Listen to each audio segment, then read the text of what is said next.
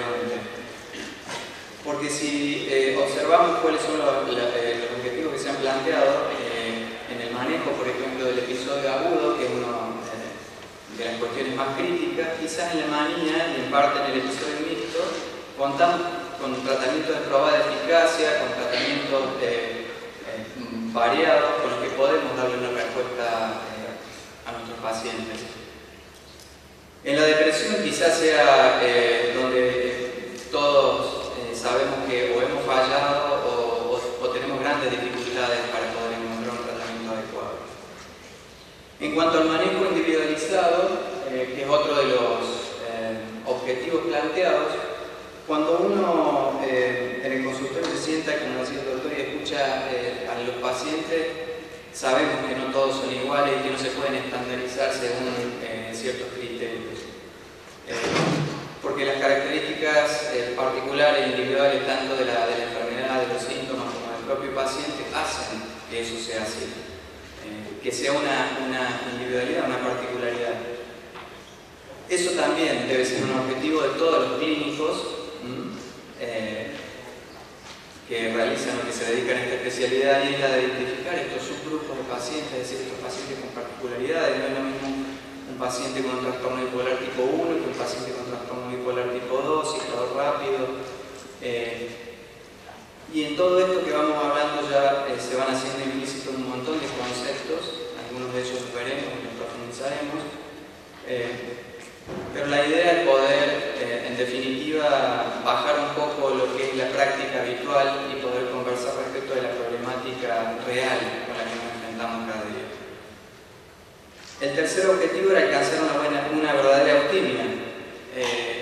esto es porque cuando el paciente se presenta en un episodio agudo, bueno, obviamente todas las fuerzas están eh, puestas ahí para hacer que ese episodio sea. Y una vez que el paciente mejora es como que eh, suele haber un alivio, no solo de parte del médico, sino también de la familia, que lo ve mucho mejor, dicen, bueno, está... Eh", y a veces en esa relajación nos perdemos de, de una pesquisa fundamental, que son los síntomas subsindómicos o los síntomas residuales que son los síntomas remanentes que quedan una vez que ha cedido la mayor parte eh, de la sintomatología aguda. Todo esto en definitiva redundaría o debería redundar eh, en mejorar la funcionalidad del paciente y en brindarle una calidad de vida adecuada. ¿Mm? Entonces, acá tenemos un consenso entre las asociaciones eh, principales del país, esperemos que la Asociación de Psiquiatras de Córdoba esté eh, en breve ahí, quizá el año que viene, y la Asociación de Trastornos del Humor, eh, en donde se establece, con cinco años de diferencia, el mismo postulado. Las fallas en lograr un diagnóstico correcto y temprano siguen siendo la barrera más importante para el tratamiento. Dos conceptos fundamentales, el diagnóstico correcto y el diagnóstico temprano. Eh, por eso, para comenzar a hablar del diagnóstico eh, temprano, Hemos traído este resumen, digamos, de los hallazgos de un estudio que tiene muchos años, pero que de alguna manera eh, puso muy en evidencia la magnitud de este problema. Esto se extrajo de una eh, asociación que existe en Estados Unidos de pacientes con diagnóstico de trastorno bipolar y de depresión. Eh, es decir, que tienen el diagnóstico probado y están en tratamiento. Se tomaron 500 pacientes con diagnóstico de trastorno bipolar se pudo establecer que la edad de comienzo más frecuente oscilaba entre los 15 y los 19 años. Eh, los pacientes que presentaban antecedentes familiares de trastorno bipolar eh, presentaban siempre un comienzo más temprano de, los síntomas, tanto depresivos como mixtos. Y dos cosas que son muy llamativas y preocupantes es que la mitad de estos pacientes no había recibido tratamiento durante los primeros cinco años de la enfermedad. Esto es, es decir, a partir de que empieza el paciente a manifestar un episodio de la polaridad que sea, no recibió tratamiento en los primeros, en los primeros cinco años. Y a pesar de haber consultado este, con algún profesional de la salud mental, la mayoría no recibió inicialmente el diagnóstico de trastorno bipolar. Eh, estos dos son estudios eh, que también avanzan un poco sobre esta cuestión tan problemática y Kupfer en el primero, eh, en un ya con un número mayor de pacientes, hace un hallazgo muy similar en el que nos presenta que la edad de comienzo tiene una media de 17 años y medio. Y abajo, Hirschfeld fue un poco más allá eh, y nos mostró otra cosa que quizás sea más interesante todavía. Cuando había sido el primer episodio, que lo que vemos arriba y que vimos en la, diapositiva anterior, de cuándo había el primer episodio, cuándo se hace el diagnóstico del primer episodio, sino cuándo los síntomas comenzaron a ser un problema. Y ustedes pueden ver acá con bastante claridad eh, que un tercio de los pacientes presentaban síntomas, problemas, antes de los 15 años. El 17% restante los presentaba entre eh, los 15 y los 19. Em, esto nos lleva, por supuesto, a una segunda pregunta que es la siguiente, ¿no? Si el diagnóstico temprano es equivalente al diagnóstico de trastorno bipolar infanto-juvenil. Eh, no es la idea y no va a ser el objetivo de esta charla hacer referencia al diagnóstico del trastorno bipolar infanto-juvenil, que es harto complejo, eh, pero sí avanzar un poco sobre un concepto que tiene que ver con la visión longitudinal. Porque parecía ser que muchas veces para los psiquiatras infantiles el, paciente llega a la edad adolescente o a la adultez joven y se acabó el paciente, hasta ahí llega, ese es todo el trayecto de vida que tiene. Y para los psiquiatras de adultos sucede lo inverso. Es decir, los pacientes comienzan su vida a partir de, los 20 años aproximadamente. Entonces la idea es poder hacer eh, y lograr algo que es fundamental, que es la visión longitudinal, porque es fundamental para el diagnóstico. Finalizando con, con esto eh, de tomar dimensión de la presencia de, de, los síntomas y del trastorno bipolar en la población infanto-juvenil, son dos estudios que marcaron, digamos así, un poco la línea eh, en, este sentido. Strober en el 93 y Geller, que el, estudio que se presenta en realidad son los resultados del 2001, pero fue un seguimiento mm, por muchos años, encontraron, tuvieron hallazgos muy similares. Em, lo que hicimos fue un seguimiento de pacientes con diagnóstico de, depresión. En el caso del primer estudio de Strober, se hizo un seguimiento de 60 pacientes de entre 13 y 16 años, pacientes adolescentes, digamos, que habían sido hospitalizados por depresión. Esto, es decir, eh, implica una gravedad del episodio que requiere de internación. Y en el transcurso de los primeros 3 o 4 años, el 20% había modificado su diagnóstico de trastorno bipolar. En el caso del segundo estudio es más llamativo porque comprende un, seguimiento mayor en el tiempo, eh, aproximadamente 12 a 15 años. Se siguieron 72 niños, en este caso prepúberes, que tenían el diagnóstico de depresión, se los siguió hasta la edad adulta. La mitad prácticamente, como ustedes pueden ver acá, eh, había desarrollado un trastorno bipolar en el periodo de ese tiempo. Entonces nos encontramos con la segunda dificultad, que es el, diagnóstico correcto. Y por eso les hablaba de la visión longitudinal, porque cuando uno mira el gráfico, eh, claramente se observa lo que está marcado con la flecha, que es el episodio depresivo, puede hacer un diagnóstico muy rápido, una consulta rápida y sale seguramente con una medicación eh, habitualmente un antidepresivo. Y nos perdemos de observar todo el fenómeno completo y quizás dar un diagnóstico adecuado y evitar al paciente muchas complicaciones posteriores. Entonces las eh, dificultades que se presentan en la depresión bipolar, por un lado el infradiagnóstico y los errores diagnósticos. El infradiagnóstico es algo que ha sido muy, muy discutido eh, en, el transcurso del tiempo y está bastante claro que el infradiagnóstico existe, a pesar de que eh, se esté eh, mejorando y haya mejorado en el índice de poder descubrir la patología, pero sigue siendo infradiagnosticado. y los errores diagnósticos tienen que ver con muchísimos factores, algunos de ellos los que estamos presentando y otros que trataremos, trataremos de ver. La visión transversal es esto que mencionábamos recién, eh, de, ver la foto y no ver la película del paciente, es decir, de quedarnos solamente con ese fenómeno que estamos viendo ahí estático, lo que presenta el paciente, lo que nos dice, eh, y sin recurrir a, ninguna otra, a ningún otro dato y no profundizando nada. Esto tiene que ver también con el modo o el modelo de práctica, es decir, nosotros como clínicos eh, debemos plantearnos eso también, digo, uno lo hace y creo, lo, más honesto, eh,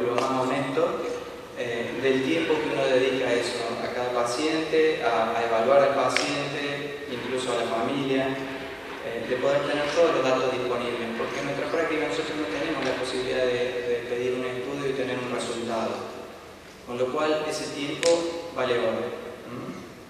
La mortalidad la mencionamos simplemente, no la vamos a profundizar, no el objetivo, pero tiene que ver con eh, los factores de riesgo a los que se ven expuestos los pacientes en, una medida aumentada también, como los factores de riesgo cardiovasculares, eh, el, secundarismo de la diabetes, la hipertensión y sobre todo y fundamentalmente las tasas de suicidio. Los síntomas subsindrómicos y cognitivos también son un problema, trataremos de, de verlos, aunque sea brevemente la eficacia limitada de los tratamientos, que es un poco lo que nos ha traído acá, lo que nos convoca y veremos si podemos dar alguna respuesta en relación a eso. Y mencionamos el riesgo potencial del uso de los antidepresivos. Eh, haciendo referencia a los errores diagnósticos eh, y a lo que se ha avanzado, digamos, en relación a esto, que uno esperaría eh, que en la medida en que la información se va transmitiendo, que los clínicos van tomando conciencia de esto debería mejorar. Y acá vemos un análisis de, digamos así, de, los errores diagnósticos que se tomaron dos muestras en el 94 y en el 2000.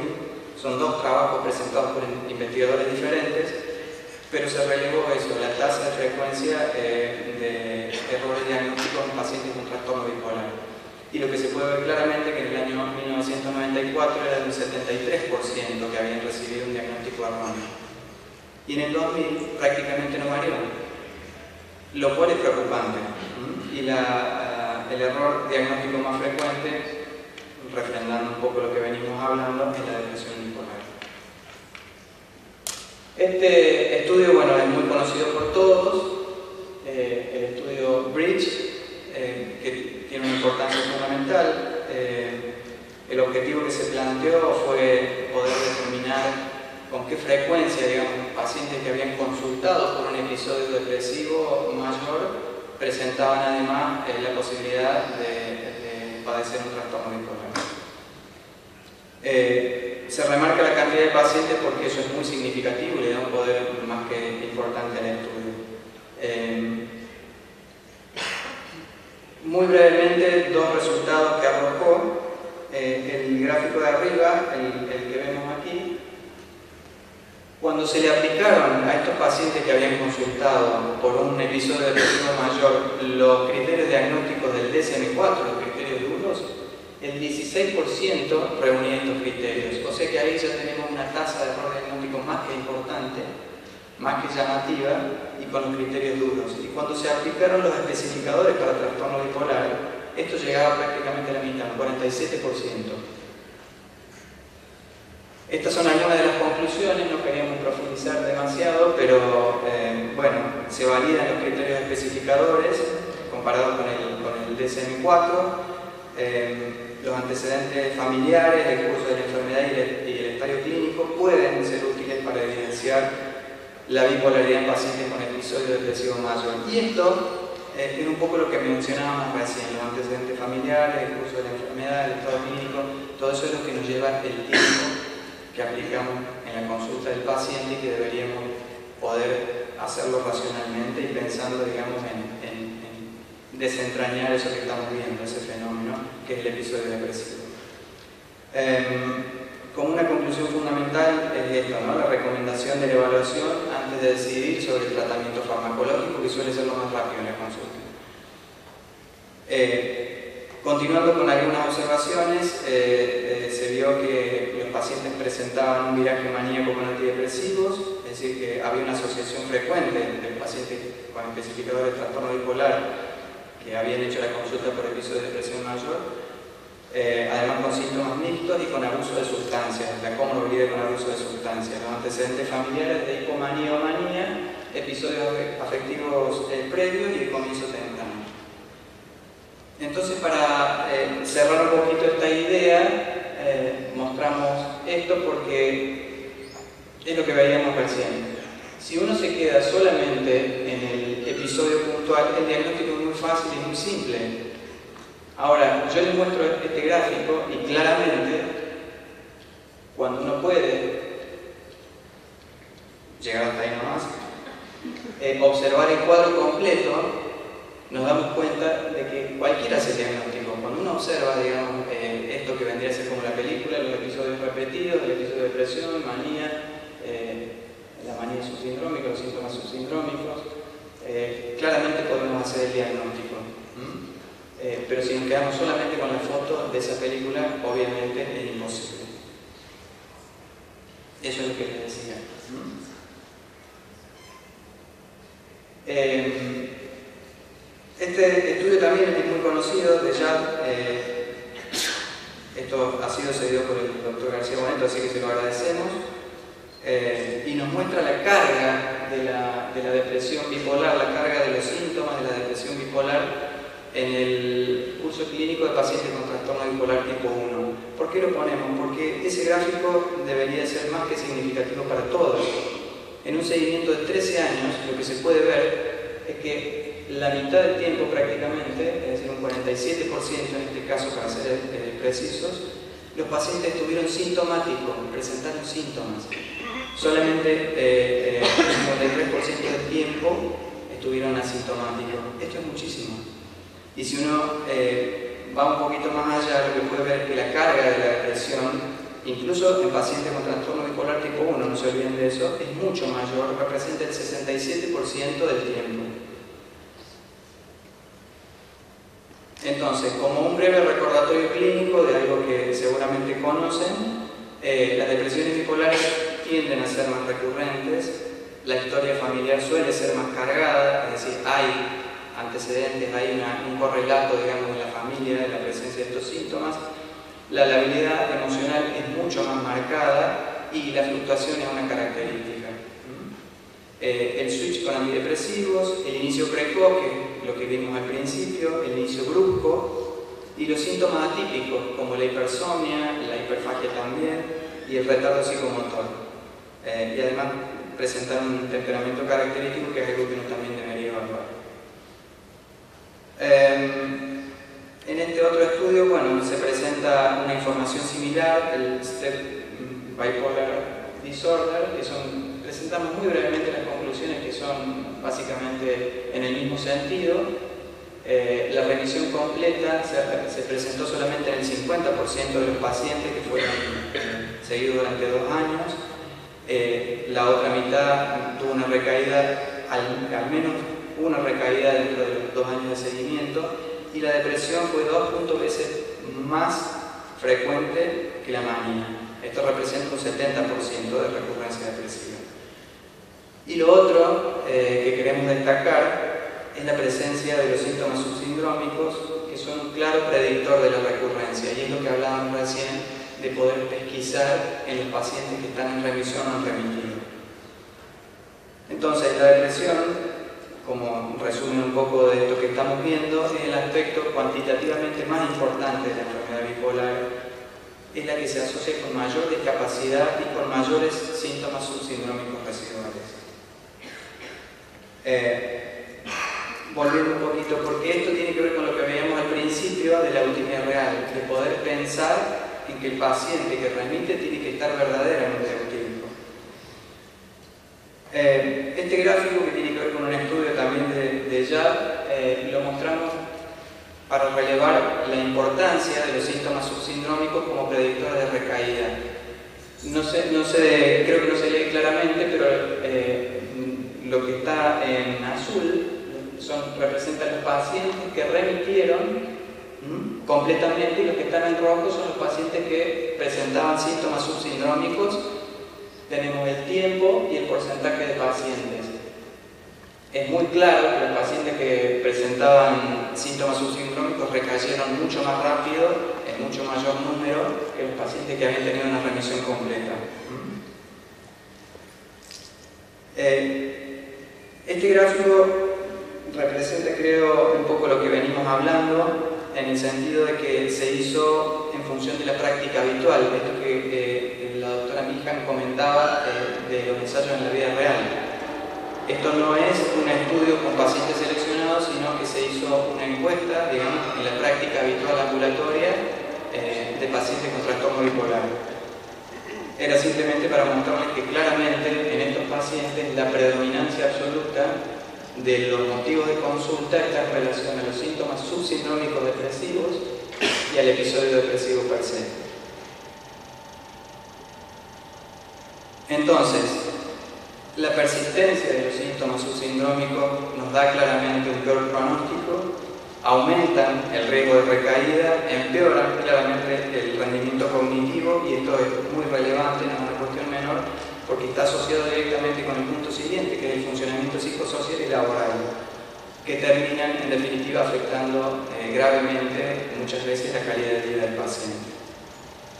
Em, bueno, esto era para mostrar un poco la, afectación de los síntomas cognitivos, lo vamos a pasar más rápidamente, para llegar a esto que sí, eh, queremos detenernos porque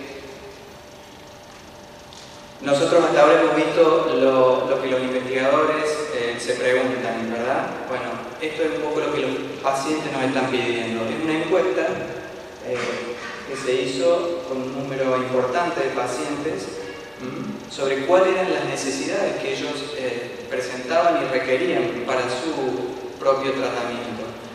Y el primer punto, el primer ítem que se lleva más del 40% de, las intenciones, eh, es un mejor tratamiento para la depresión. O sea que el correlato clínico y lo que se ve en las investigaciones tiene claramente eh, una correlación con lo que los pacientes necesitan, piden y están demandando. Eh, el segundo ítem en importancia es un menor riesgo en el aumento de peso. Y esto también nos está dando un mensaje importante, qué estamos usando, cómo estamos manejando los tratamientos, o al menos qué tenemos a disposición para combatir este flagelo, digamos, es así. La prevención de las recaídas depresivas está en directa eh, asociación con el, primer eh, ítem, porque justamente no solo eh, necesitan un tratamiento mejor, sino que lo que más piden es no recaer, y el cuarto que vemos es mejorar la, calidad de vida. Esto lo, ponemos porque sabemos que es un tema arduo y de extenso debate, no vamos a profundizar en esto, simplemente lo, presentamos eh, porque es un dilema terapéutico los antidepresivos en la depresión bipolar, sí o no. Simplemente eh, vamos a mostrar que, porque sabemos digamos, que eh, en la práctica habitual son extensamente usados, pero eh, las demostraciones, digamos, eh, científicas no avalan ese uso, de hecho es controvertido, sí sabemos que tienen un lugar eh, en el, tratamiento de la depresión bipolar, pero con mucha, mucha cautela y con muchas precauciones. Esto era simplemente para mostrarles que a pesar de eso, y a pesar de que sea conocido por todos, eh, en Estados Unidos se hizo un, relevamiento de era, cuáles eran las medicaciones más usadas eh, en los pacientes con trastorno bipolar y ustedes pueden ver que por lejos la mitad de las prescripciones principales se las llevan los antidepresivos, seguidas por eh, los anticonvulsivantes, las medicaciones sedativas, los antipsicóticos con un 11% y al último recién el litio. Entonces, haciendo como un breve resumen, el diagnóstico temprano y el diagnóstico correcto son eh, las dos grandes cuentas pendientes que tenemos y fundamentalmente eh, deberíamos poder resolver. Los síntomas subsindrómicos, esto tiene que ver con escuchar al paciente un poco lo que mencionábamos recién, y como mensaje, eh, esto, ¿no? de utilizar las herramientas clínicas que se desprenden muchas veces de estos estudios y que a veces resulta un poco tedioso, pero que intentan arrojar un poco de luz en la práctica habitual. Mencionamos lo de la polaridad predominante o el índice de polaridad, todas cuestiones derivadas de, eh, de la profundización en la investigación para poder brindar una respuesta adecuada. ¿Y ahora qué hay de nuevo? Bueno, para eso eh, vendrá con nosotros el doctor Ruggeri que va a continuar un poco iluminándonos respecto a esto. Ante todo, como tratamos de armar una, presentación haciendo hincapié en el gran problema que tenemos hoy en el trastorno bipolar, que es la, depresión bipolar y los episodios felices. Cuando nosotros hablamos de trastorno bipolar y fundamentalmente el episodio depresivo mayor, una de las cosas que sí o sí no tenemos que dejar de, pensar en hoy es en antipsicóticos. En los últimos 5 o 6 años el uso del antipsicótico en el trastorno bipolar es, la droga que más se ha usado y es el fármaco que tiene aprobación en todas las etapas. Digamos, cuando hace ya mucho tiempo se empezó a tratar el trastorno bipolar, primero eran los estabilizantes por un lado, por otro lado los antipsicóticos y por otro lado los antidepresivos Hoy actualmente parece que el, ganador inesperado de, estos tiempos parece ser los antipsicóticos. Ya hace 60 años del, descubrimiento del primer antipsicótico, el primer antipsicótico atípico fue en 1980 con la clozapina y en los últimos, a partir del año 2000, tenemos los últimos antipsicóticos atípicos. Algo que es importante y que todo el mundo lo debe saber la característica de un antipsicótico, a diferenciarse de típico y atípico, es por una constante disociación, eso lo descubrió Buffer, y como dice Darío criollamente, ¿quién se pega más al receptor? Los antipsicóticos típicos se pegan y es muy difícil de despegarlo, y los antipsicóticos atípicos se pegan y se despegan bastante fácil. Esa característica de pegarse y despegarse bastante fácil es lo que nos ha dado hoy pie a usar los antipsicóticos en enfermedades que probablemente hace 15 años atrás no hubiésemos nunca pensado.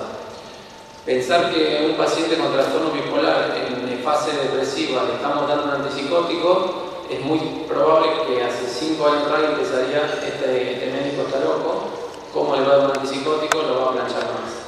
Bueno, las guías terapéuticas actuales eh, nos avalan esto, digamos aparentemente ganador inesperado en el trastorno bipolar terminan siendo los antipsicóticos.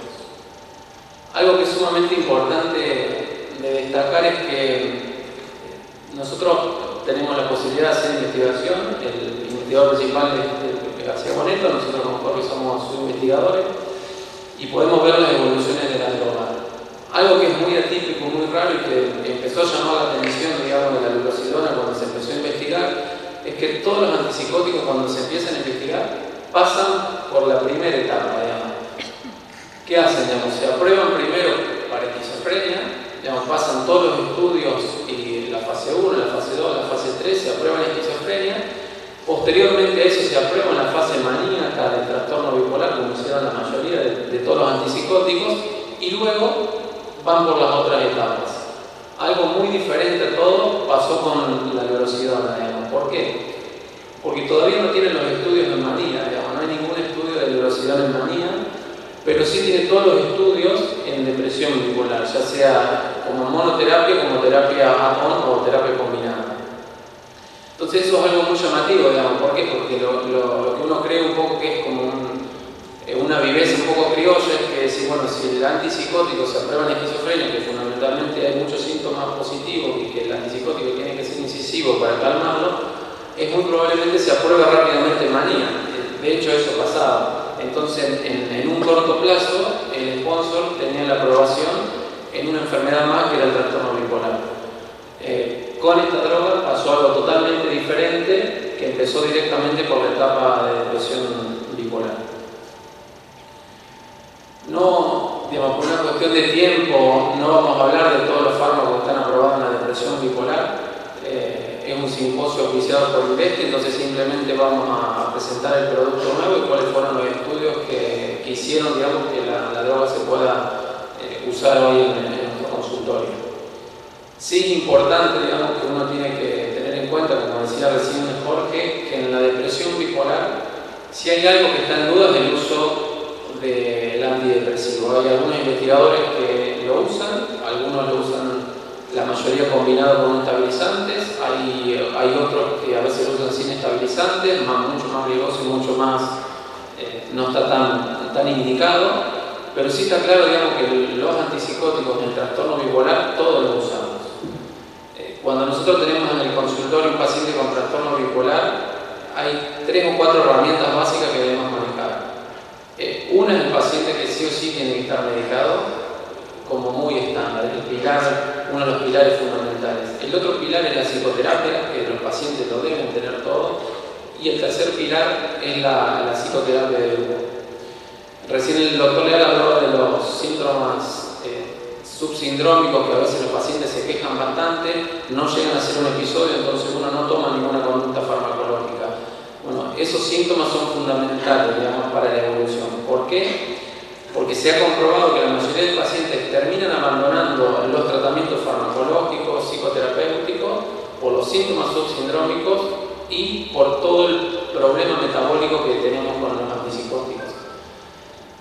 Había un, un, estudio clínico digamos, que mostraba digamos, que los pacientes abandonaban mucho más eh, la medicación por el aumento de peso que por los efectos adversos iniciales de un estudio.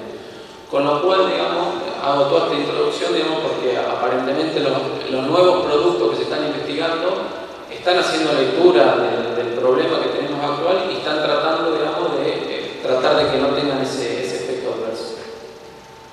Sí está claro que para manejar bien un trastorno bipolar debemos saber de antipsicóticos y fundamentalmente de antipsicóticos activos.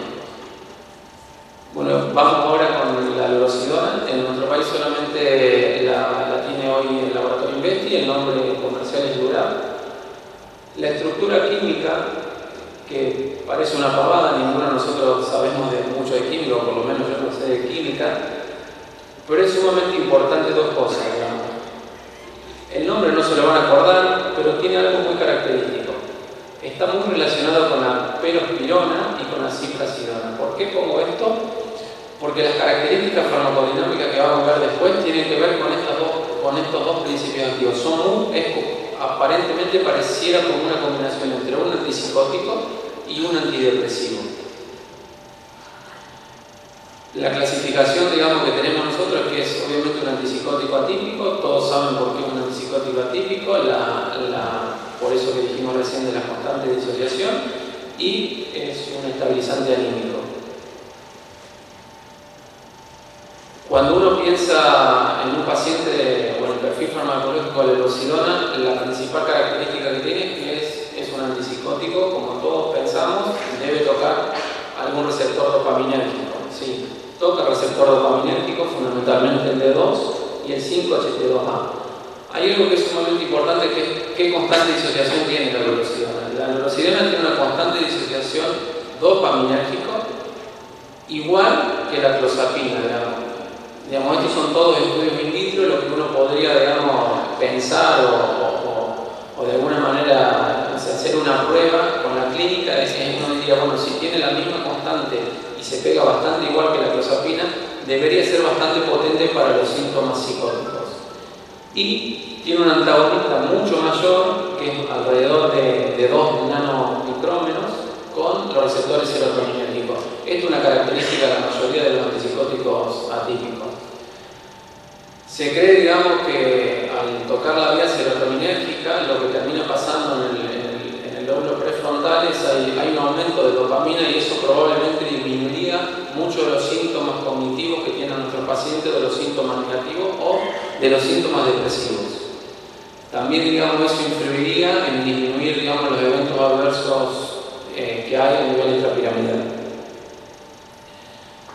Pero algo que es mucho más importante que no solamente digamos un antagonista dopaminérgico de 2 y un antagonista serotoninérgico 5-HT2A, sino que un antagonista serotoninérgico 5-HT7 y un agonista parcial 5-HT1. Eh, recién antes de empezar la clase hablamos con el doctor Rica y se acordaba de una droga que, tiene un antagonista parcial 5-HT1A, que es un antidepresivo que habitualmente nosotros no lo usamos, que es la buspirona pero bueno, este antipsicótico tiene esta propiedad, lo cual, digamos, a nivel farmacotécnico podría explicar un poquito, digamos, los efectos antidepresivos de este fármaco. Y algo que es sumamente importante, que la capacidad de pegarse a los receptores casi nula en tres receptores que son fundamentales. Primero, dopaminérgico de uno, que todos sabemos por los efectos adversos extrapiramidales, Segundo, con el antagonismo H1 y con el antagonismo muscarínico.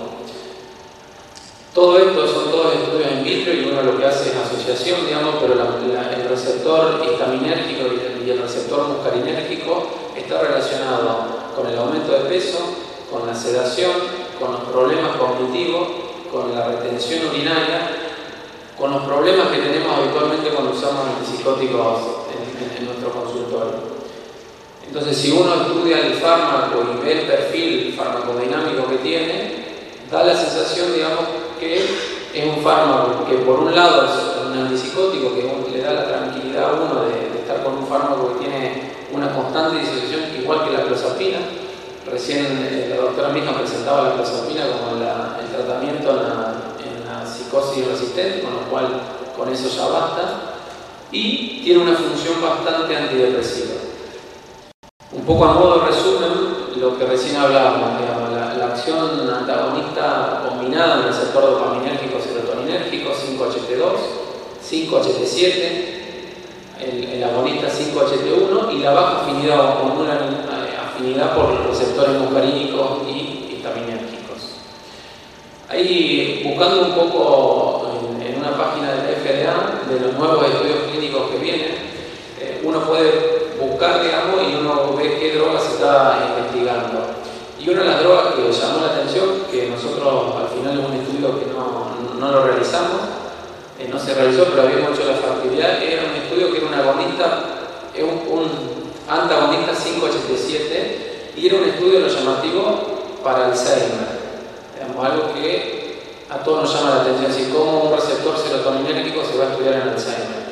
Leyendo un poco más sobre, sobre las vías, lo que uno se ha comprobado, digamos, que la, se ha encontrado, digamos, receptores serotoninérgicos 5-HT7 en el tálamo y se, ha, y se ha encontrado algún tipo de asociación con aumento de glutamato en algunas áreas fundamentales. Por eso eran las líneas de investigación. Nosotros no lo hicimos, no sabemos, pero simplemente lo traigo digamos, por, por, una característica más de este fármaco y que aparentemente se está estudiando los problemas cognitivos. Hablando un poco de depresión bipolar y analizando un poco el psicofármaco, vemos digamos, que tiene un perfil bastante favorable cuando nos encontramos con un paciente con depresión bipolar, por eso que, vimos. Sí es importante algo que uno usa en la práctica cotidiana. Digamos. Cuando uno se encuentra con un paciente y como recién decía Jorge, viene a la primera consulta y ese paciente tiene un episodio depresivo y a uno le cuesta diferenciar si realmente va a ser ese paciente un trastorno bipolar o no lo es, a pesar de hacer eh, una historia clínica bastante exhaustiva y, tratar, digamos, de diferenciar el, el, pronóstico o ver al paciente no sacándole una foto, sino mirándolo a lo largo de la vida, yo siempre digo que a veces dando un antidepresivo solo en ese paciente uno correría más riesgo. Da la sensación que si uno indica algún antipsicótico atípico aprobado para, para, la depresión, eh, para la depresión bipolar, uno estaría hasta desde el marco legal mucho más cubierto y, más tranquilo. Bueno, ahora, ¿cómo lo usamos el fármaco? ¿Cómo se usa? ¿Cuáles son las principales características? Las dosis que se usan son de 40 a 80. Eh, siempre se recomienda dosificar de 20 el primer día, el tercer día pasar a 40 y después ir viendo la evolución hasta, hasta 80. Los estudios son mucho, con dosis mucho más altas. Eh, nosotros hicimos hasta 80 nomás. La vida media, simplemente para recordar, es más de un día. Eh, lo más importante es que se toma una sola toma diaria. Sí es importante tomarlo cuando se da la noche habitualmente. Eh, y sí es importante tratar de darlo con la comida. Digamos. Se ha comprobado que la absorción del fármaco aumenta más del 50% cuando uno da con la comida. Cuando uno piensa, digamos, en un paciente con trastorno bipolar, como vamos a ver los estudios que son entre 18 y 75 años, uno también piensa en las interacciones. Hoy los pacientes habitualmente están polimedicados, o no solamente, digamos, por la cuestión psiquiátrica pura, sino por una cuestión clínica. Eh, las interacciones que tienen con el CIP 3 eh, a 4, el 450 3 a 4, vulgarmente es como eh, un, digamos, un una célula que tiene como muy poquitas drogas que a su vez se unen. Los psicofármacos que se unen a esas drogas son dos que tenemos en el mercado, uno es fluoxetina y otro es fluvoxamina. O sea, son los dos fármacos que yo tengo que tener en cuenta si estoy combinando esa droga con otra. Lo que me hace es aumentar la concentración de velocidad. Y otro fármaco que es importante que también se metaboliza ahí son los antifúngicos. También lo tengo que tener en cuenta haciendo el mismo efecto. Obviamente si un paciente toma un autoinductor hepático como la rifampicina o algo de eso, obviamente va a bajar las dosis. Pero a grandes rasgos una de las ideas que uno tiene que tener es que con los dos grupos farmacológicos más comúnmente usados y más riesgosos, que son los antihipertensivos y los anticoagulantes, eh, va por otra vía, digamos, no tiene interacciones, con lo cual son los fármacos que habitualmente nos llaman todos los pacientes y nos dicen.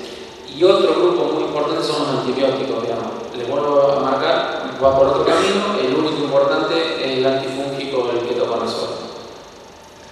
La eliminación, la, eliminación de la droga es por este, se elimina sin principio activo, sin metabolito activo, o sea, cuando se elimina la droga ya no deja de funcionar.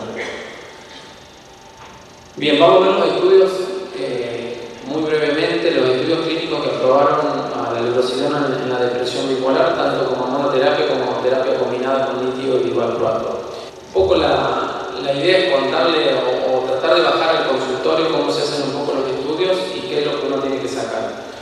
Este es un estudio se juntaron aproximadamente 600 pacientes. De esos 600 pacientes se hace un screening, se hace la evaluación, esos pacientes tienen que estar en, un episodio depresivo mayor, ese episodio depresivo mayor uno tiene que validarlo con una serie de escalas, la escala que valida en depresión bipolar es la MADRS, o la Montgomery de. Y lo que uno ve es, le hace la evaluación inicial, a los 15 días uno lo vuelve a ver. Y ve, digamos, para tratar de sacar el efecto placebo lo máximo que uno puede, que la variación entre la visita inicial y la visita basal, donde van a empezar con, el principio activo, no varía en la puntuación. Sí es importante, digamos, que los pacientes eh, tienen que tener un perfil se les pasa una, batería de escalas. Una de las baterías que se les pasa una, una escala de suicidio que se llama Columbia. Eh, eso de alguna manera nos, vamos a ver después por los análisis, nos, saca a los pacientes que tienen una, alta tasa de suicidio o que actualmente están con ideas suicidas muy marcadas. ¿Sí? Eso es importante digamos, porque el estudio clínico no te lo permite, o sea que es algo que no lo vamos a poder comprobar a grandes rasgos, digamos, vamos a ver digamos, lo, que vamos, vamos a ir viendo que la glucosidona en monoterapia se separa rápidamente, digamos. Uno, uno, arriba ve las semanas, seis semanas, en la semana número uno ya se está separando del placebo. Tanto en, las escalas podemos ver cada síntoma en particular. Y algo que es importante, eh, este estudio, el de Levy y Calabrese, no se hizo en Latinoamérica, se hizo en Europa, África y Estados Unidos. Las dosis que habitualmente ellos usan son mayores a las que nosotros en Latinoamérica usamos. Eh, por ahí, por eso le quería contar esto. Uno ve los estudios y pueden ver los gráficos y los colores. Pasando las seis semanas, por más que yo le dé la dosis más baja, que es de 20 a 60 o de 80 a 120, no se diferencia. ¿sí? Con lo cual uno podría llegar a pensar, digamos, que con una dosis relativamente baja de 40 o 60 no se diferencia una dosis alta de 80 a 120. Sí es importante, digamos, por qué un, fármaco. Digamos, eh, la mayoría de estudios dice que si un fármaco inicial inicialmente muestra que reacciona positivamente en, esos pacientes, quiere decir que ese fármaco va a funcionar. Lo mismo pasa como si uno dice, inicialmente ese fármaco no muestra ninguna diferencia, es muy probable que no va a funcionar.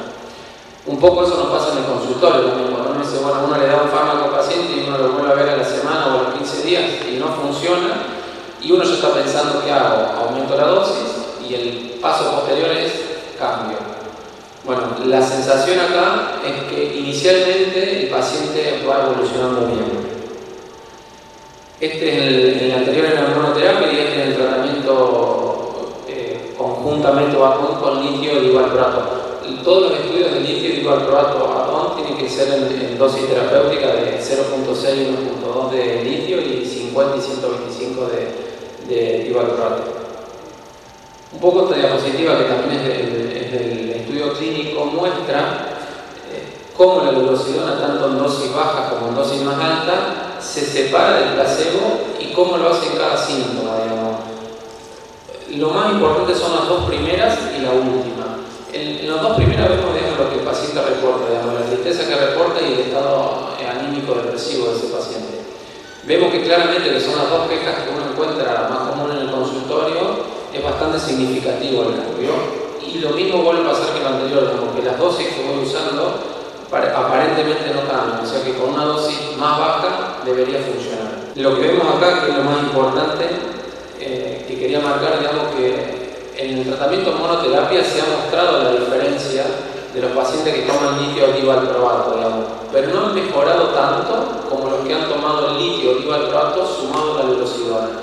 Digamos, acá vemos, que la velocidad se despega mucho del placebo. ¿Esto qué quiere decir, digamos, vulgarmente? Que el paciente que está tratado solamente con litio divalproato y, y nada, mejora, pero no mejora tanto como si uno le agrega la velocidad. Estos son los estudios, volvemos a lo mismo, digamos, a de velocidad, digamos, donde por cada síntoma que uno ve, ve, digamos, los cambios significativos que tiene la mayoría. Para que una droga muestre eficacia al cabo de seis semanas, debe bajar el 50% de la puntuación inicial que puntuó. Eh, una puntuación más o menos en estos estudios fueron de 28 29 puntos de más, que es una depresión moderada. Acá podemos ver, digamos, y esto lo, puse un poco para ver cómo los, cada síntoma, los principales síntomas que reportan nuestros pacientes se diferencian, digamos, si estarían tratados con lorazidona o si estarían solamente con placebo.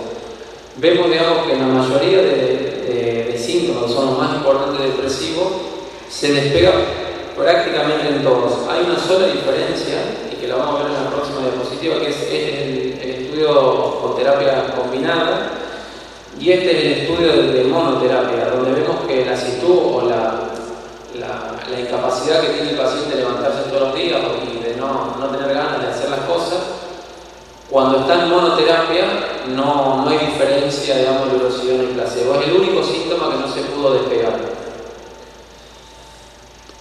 Cuando hablamos de qué seguridad tiene el urocidona, los estudios muestran digamos, que la tasa de discontinuación es muy bajita, bastante similar al placebo. Los eventos adversos más importantes que, presentaron fueron náuseas, somnolencia, algún tipo de temblor y, y acaticia. Hubo algunos casos de insomnio también. Y algo que es muy importante es eh, lo que puse a la derecha. Hay un mínimo cambio en el peso, un perfil metabólico y glucémico bastante favorable. No produce sedación, aunque uno lo vea a la noche, digamos, es un hábito darlo con la cena, y no altera digamos, ninguna constante de QT o QT corregido, que es la variante que se analizan los efectos de los, de los antipsicóticos en el corazón. Cuando se hace el estudio clínico se ven otras variantes, eh, siempre hay una medida de eficacia primaria y medida de eficacia secundaria. La medida de eficacia primaria fue la MADRS, la medida de eficacia secundaria, en este caso fue Hamilton, que es una escala Hamilton A, que es de ansiedad.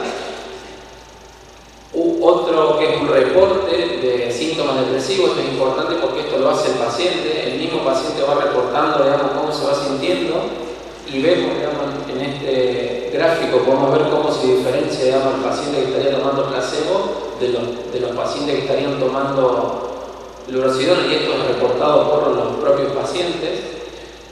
Una escala de funcionalidad o de calidad de vida, algo que se habla mucho digamos, a nivel funcional de nuestros pacientes y una escala de discapacidad que es la, escala G. En toda esta escala, que son medidas eh, secundarias, se ha demostrado que es bastante, mucho más eficaz que el placebo. Los, el estudio que vimos recién, digamos, se analizan un poco las variables, dos variables estadísticas bastante importantes que, que, uno las usa para analizar los estudios o como para uno tener una idea rápida de cuando a uno le dan un paper y dice, bueno, a ver, veo dos, tres cositas y veo si eh, parece que es bueno o parece que es malo. Hay dos variables. Uno es el NNT, que es el número necesario a tratar, y otro es el NNH, que es la relación directa con la seguridad y tolerabilidad. ¿Qué quiere decir esto? Un poco estadístico y, es, es, complejo, digamos, entender, digamos, que sería cuánto, el NNT sería cuántos pacientes yo necesito tratar para que se me beneficie un paciente mío si la puntuación, obviamente comparado con el gol estándar en esa enfermedad, En la depresión bipolar, el gol estándar en la depresión bipolar es la quetiapina, todos los comparadores de estudios son con quetiapina. ¿Qué es lo que se está marcando, digamos, o que uno tendría que pensar rápidamente? Si uno tiene un valor de NST menor a 10, me está diciendo algo muy de laboratorio, que la droga es eficaz, digamos, que probablemente esa droga sea buena. ¿Y qué me está diciendo si el NNH es mayor a 10? Probablemente esa droga sea segura. ¿Sí? Digamos, un poco a nivel muy general o muy, muy, muy criollo, pero para hacer una lectura general. En todos los estudios de, de tanto en monoterapia como terapia combinada, lo que vemos, digamos, que el número necesario tratar es un número, como decíamos, menor a 10, digamos, un número bastante bajo, lo cual uno podría pensar que en los estudios que se hizo de la droga es eficaz. Y los estudios de seguridad, y esto es, importante, son valores altos, como decíamos recién. Da la sensación, digamos, que la droga es bastante segura, digamos que es un fármaco que uno lo va a usar con bastante tranquilidad. Pero algo que quería marcar era esto. el evento adverso, la ganancia de peso mayor al 7%, quiere decir que ese paciente que ingresó al estudio hasta que terminó, ganó más del 7%, quiere decir que eso tiene significancia clínica un número muy alto, 5.550. Eso quiere decir, digamos, que necesito tratar como muchísimos pacientes, muchos, para que me aparezca un paciente que me aumente el peso de manera significativa. Es un poco algo muy experimental, ¿no? Hay otro, otro valor que es el LHH, que es como una relación, digamos, si la droga es buena o no tan buena, tiene que dar un valor, pero bueno, es muy estadístico. A modo de y un poco resumiendo también lo que habló el doctor Leal, primero que necesitamos seguir trabajando, profundizando, digamos, para diagnosticar a nuestros pacientes con trastorno bipolar. parece mentira, pero todavía eh, tenemos ese grave problema, a pesar de, de que hoy da la sensación que todo el mundo conoce el trastorno bipolar, no muestran eso en los resultados. Segundo, que hay una alta incidencia en los trastornos metabólicos en todos nuestros, pacientes con trastorno bipolar, la obesidad, los factores cardiovasculares y algo que es bastante nuevo, bastante común que uno habla hoy, son los déficits cognitivos en el trastorno bipolar. Tercero, digamos que hay, una escasa eficacia de, estudios clínicos en depresión bipolar. De hecho, se, se hizo algunos con antidepresivos, pero los resultados fueron negativos ya que tratamientos en depresión bipolar hasta el día de la fecha solamente hay de lurasidona y de quetiapina y de olanzapina y fluoxetina. El resto no, no, hay ningún estudio clínico que te avale usar esa medicación a depresión bipolar. Cuarto, la lurasidona ha sido aprobada por la FDA en 2010 en esquizofrenia y en 2013 para el tratamiento del trastorno bipolar, la fase aguda depresiva.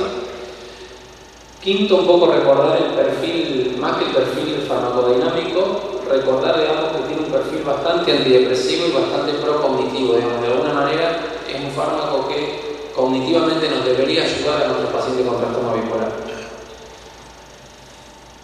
Esto es lo que decíamos, que la velocidad da una alta eficacia tanto en monoterapia como en terapia combinada y es bastante bien tolerable por esas variantes que. Los efectos adversos más comunes son efectos adversos bastante simples, digamos, de cualquier paciente que toma algún psicofármaco. un perfil metabólico bastante importante, que es un tema bastante atraedor. Antes decíamos digamos, que los pacientes dejan mal los medicamentos no por estar mal, sino por estar obesos y por sentirse gordos, dejan más el medicamento por eso, más que por el estado psicopatológico. Y para terminar, el bajo o nulo aumento de peso, sedación y la programación del gluten.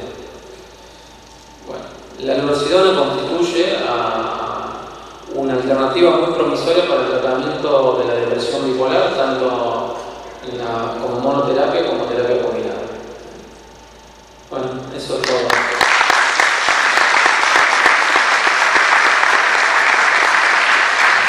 Bueno, vamos a tener unos minutos para el debate.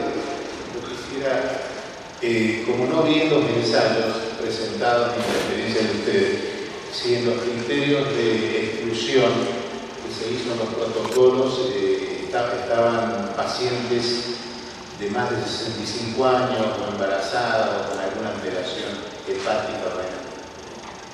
Sí, eso es algo importante, son eh, tratamientos, digamos, de condiciones especiales. Algo que es muy importante, digamos, que tanto en pacientes gerontes, los protocolos eran hasta 75 años, con lo cual nos diría que el adulto mayor fue tratado, no hay que ajustar dosis. Si hay que ajustar dosis en el paciente que tiene insuficiencia hepática o insuficiencia renal, hay que bajar la dosis, nos recomiendan el 50%. Y algo que es muy importante en embarazada, es el único antipsicótico que ha demostrado ser de clase B.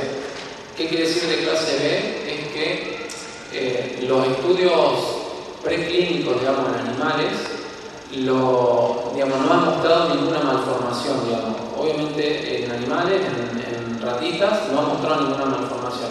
No se puede hacer ningún estudio clínico eh, en mujeres embarazadas, digamos, pero sí es importante que la mayoría, digamos, de, de antipsicóticos cuando pasan los estudios preclínicos siempre muestran algún tipo de malformación. Eh, el aparentemente no demostró ninguna malformación en los estudios preclínicos, con lo cual la FDA le pone una categoría de, de B en uso en embarazadas. ¿Nos permitiría usar los niños? Sé que dijiste 18 a 60 años, pero eh, esto de, de, uso en embarazada, ¿nos permitiría usar los niños por lo menos, eh, avalando un poco lo que dice el doctor Leal, que un buen diagnóstico eh, empezaría en la etapa infantil? Bueno, hoy en día no y claramente no se puede indicar sería una indicación off the label, digamos, eso no está eh, prescrito, no, está autorizado, digamos, por ninguna entidad eh, de control farmacológico. Lo que sí es cierto, digamos, y eso es a, considerar, es que los tratamientos aprobados en esta población prácticamente son muy escasos. El aripiprazol quizás sea una excepción, eh, que a partir de los 14 años, si mal no recuerdo, y no hay mucho más. Con lo cual, en realidad por eso nosotros lo presentamos como algo que no lo íbamos a profundizar porque es muy extenso y muy debatido el tema, pero eh, por lo que se presenta sería como una eh, opción promisoria. Lo que pasa es que, bueno, esto es así. Las indicaciones habitualmente en esa población son obtenibles. Así que habrá que esperar a los reportes de casos y algunas revisiones quizás que se puedan hacer. estas muestras son eh, solamente con este psicóticos ya venían con otras medicaciones y tuvieron que eh, ir eh, bajando paulatinamente, ir incorporando este o se puede sacar los otros y poner. Debe pasar, digamos, depende de qué tipo de antipsicótico, entre 15 días y 20 días de no, de no usarlo. Si tu pregunta va, si uno viene tratando con un antipsicótico, ¿qué tengo que hacer? si bajarlo y asociarlo, no hay estudios clínicos de eso. Eh, siempre lo que uno recomienda es tratar de no usar tantos antipsicóticos juntos, salvo que sea un paciente resistente como hablar. Lo que uno recomendaría es bajar el antipsicótico, esperar algún tiempo mínimo entre 3 o 5 días y recién volver a insertar el otro antipsicótico. recordemos que tiene muchas funciones serotoninérgicas, con lo cual a veces eh, al asociar dos fármacos igual puede despertar algún síndrome cerebral. Eh, yo la vengo usando y estoy teniendo muy buenos resultados en pacientes con depresión bipolar. La pregunta va dirigida en, en relación, supongamos, al aripiprazol que se está usando eh, como potenciador de los antidepresivos en dosis bajas en, en depresiones un poquito más melancólicas o resistentes. Esta también podría tener ese perfil de uso, se, se ha estudiado en ese perfil de pacientes depresivos más monopolares con y lo bueno es que los estudios, ya sean en monoterapia o en terapia combinada, fueron bastante similares. Eh, te diría que no como un potenciador, sino como una droga de, de primera elección en una depresión bipolar, digamos, no como un segunda, una segunda posibilidad. Me imagino digamos, que con el correr del tiempo y el uso eh, va a empezar a obtener la, las aprobaciones en las guías de trastorno bipolar a nivel internacional y ahí veremos. La última guía del CARMAN del 2014 está, primero, en la primera línea es la quetiapina, después sigue la fluoxetina con la lanzapina y recién después sigue la glucosidona. Siempre digamos, las guías se van actualizando a partir de la cantidad de gente que se va tratando.